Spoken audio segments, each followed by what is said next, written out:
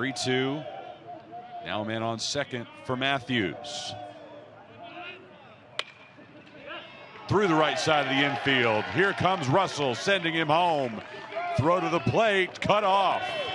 Washington State takes a 1 0 lead with nobody out in the top of the first. You can sit one pitch for for this pitcher because of the fact that he's had control problems.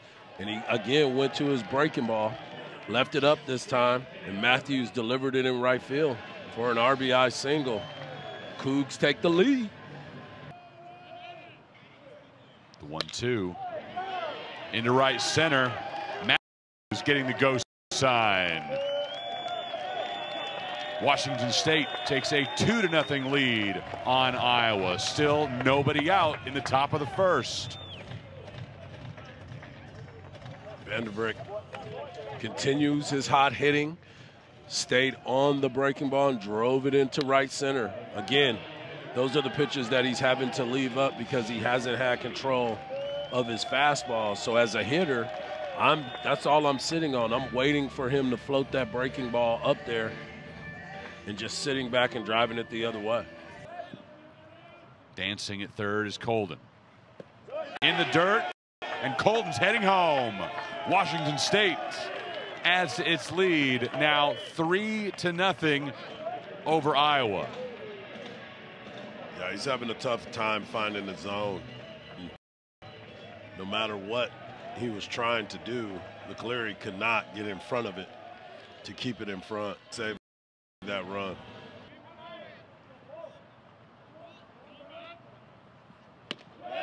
Rung him up.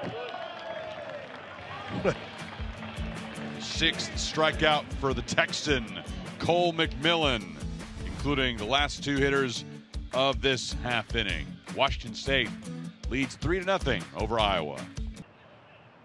3-2 pitch, runner going, swinging and missing. Can they turn two? They do. Strike them out, throw them out. Double play by Washington State. What a great transfer behind the plate. Cresswell with a great throw on the money. Tried to slide high and wasn't having it. Tagged himself out in that slide at second base. The 1 1 into left center. Giving chase is Vanderbrake. He can't get to it. Off his glove.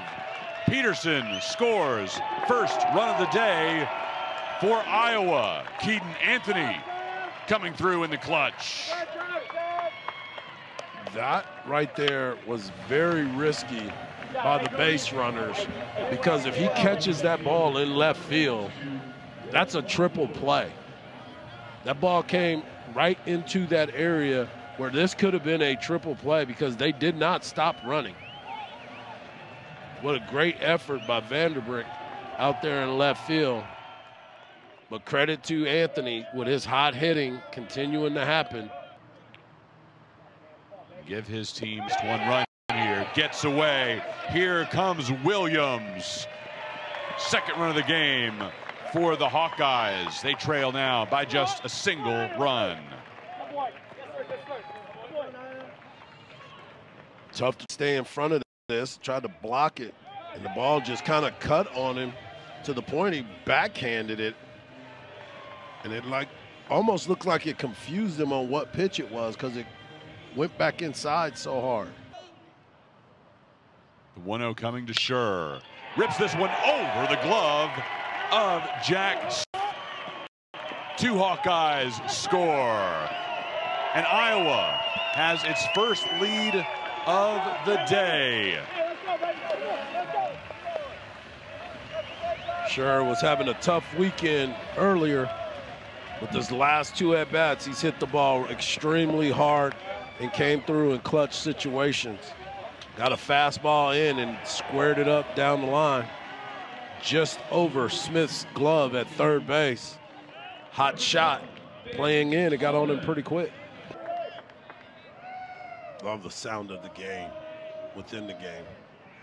Well, the Cougar fans in attendance hooping and hollering, giving Langenberg a time when he can't find the control. Hall lifts this one to left over towards the flags. On top of the berm, high ball delivering a high, long shot and giving the Cougars a tie ball game. Allow me It's- to reintroduce myself. It's four to four in Frisco.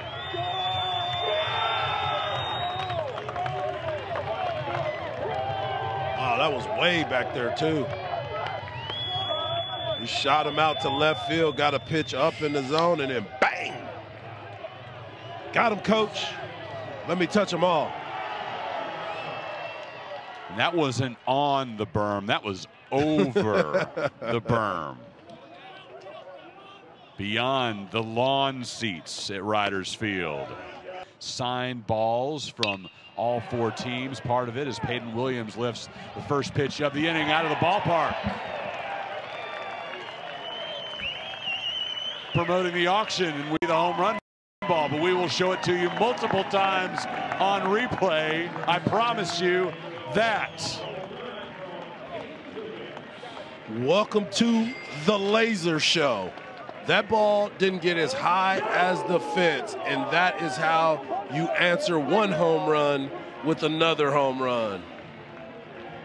Peyton Williams. Now you get a clean look at this monster shot from the big man. Number 45 for the Iowa Hawkeyes. That's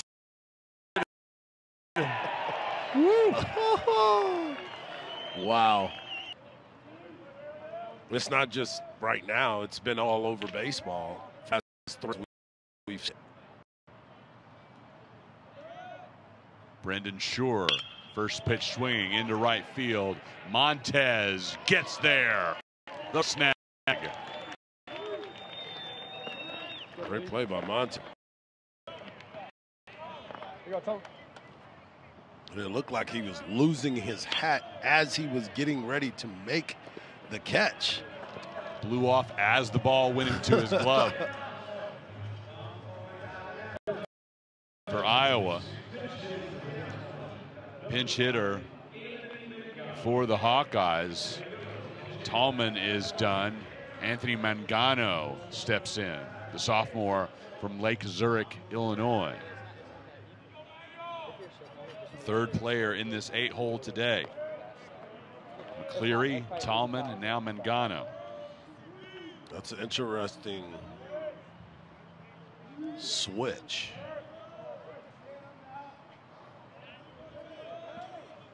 Let's see here. Runners on first and second. First pitch swinging. Mangano comes through. Here comes Anthony to the plate. The, the Hawkeyes lead by two. Mangano was like, let me into this hit parade. First pitch he sees, smashes it up the middle. One of those watch yourself moments right there. Woo. Right back up the box.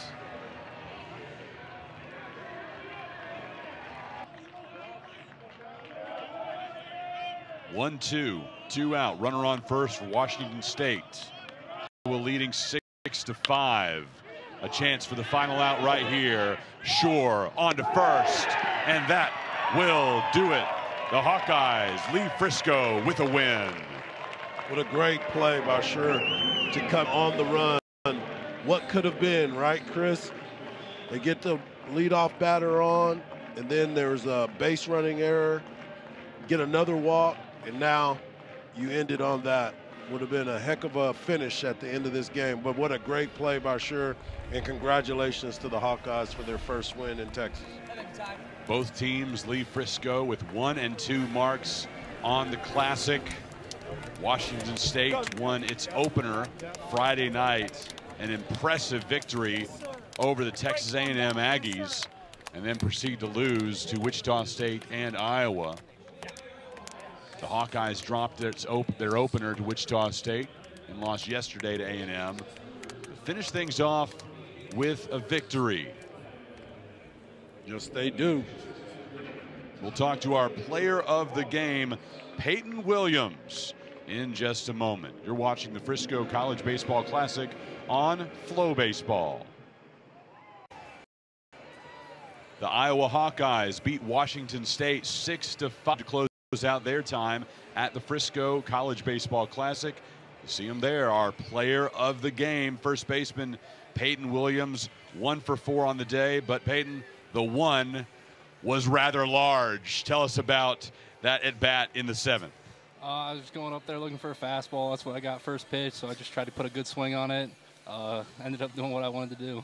For a big man, Peyton, you have been very disciplined at the plate. You haven't chased a lot of pitches. I've actually been entertained by the way you've been able to approach the baseball. What do you what do you lend that to as far as your credibility at the plate every time you step up? Uh, we do a lot of work on being disciplined, getting the pitch we want. So I mean, if it's not something I'm looking for, I'll take it, and if it's a strike, I'll tip my hat to the pitcher. So I mean, just so I can be aggressive on the one I want. You're doing a tremendous job staying focused. Uh, do you want to take questions from any of those other reporters who uh, have big microphones in your Uh, faces? No, I think they're good down here. Okay, all right. Well, let's talk about the catch along the first base side as well. Just staying with it, wind whipping around, and you were able to keep your concentration and make the grab. As uh, we're going to show it to the people again while you talk about it. Uh, so I mean, I kind of just knew the wind was blowing it back in, so I kind of just tried to get to the wall and uh, see if it would blow back to me, and I guess it was close enough. All right, we're going to pull it up again right now, Mr. Hardge.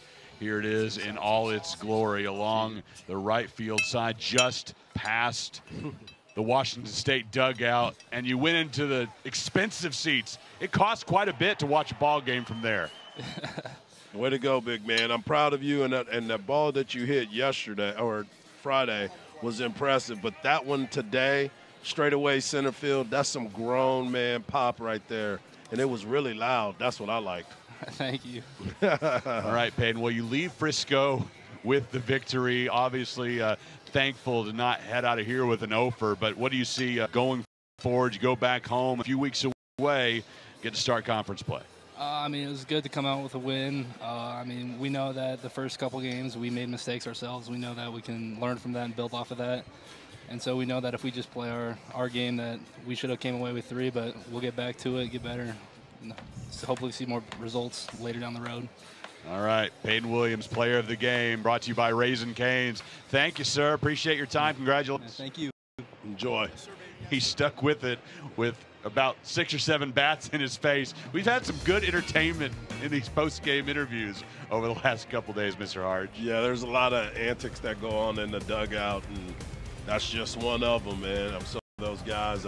I know that they've been working really hard, and the big man delivered.